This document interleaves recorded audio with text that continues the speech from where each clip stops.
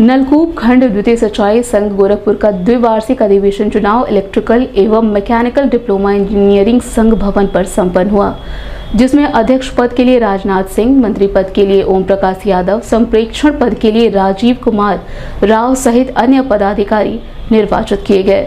संघीय चुनाव अधिकारी के रूप में शरीफुजुम्मा अंसारी, शैलेश कुमार भारती विजय शंकर सिंह, ध्रुव प्रताप सिंह की देखरेख में चुनाव सकुशल संपन्न हुआ।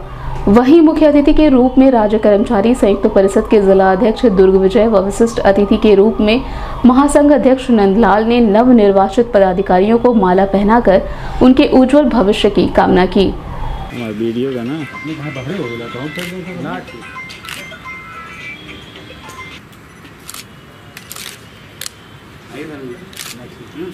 आजा आजा आजा। नज़दीक हो जा और थोड़ा नज़दीक हो जा हाँ। इस संबंध में सिटी वन संवाददाता से बात करते हुए राज्य कर्मचारी संयुक्त परिषद की जिला अध्यक्ष दुर्ग विजय ने बताया।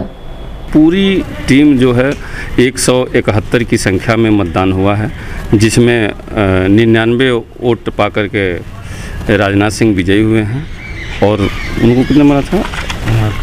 उनहत्तर उनहत्तर अशोक दुबे जी को जो चुनाव हारे हैं उनको उनहत्तर मिला था और पूरी टीम निर्विरोध निर्वाचित है। और हमारी शुभकामनाएँ भी आपके माध्यम से भी जब भी कर्मचारियों की आवश्यकताएँ पड़ती हैं और राज्य कर्मचारी संयुक्त परिषद हमेशा विभाग के सभी जनपदों में और सभी कार्यालयों में जा कर के कार्य करता है और हमेशा मुख्य अतिथि के रूप में। रिटायर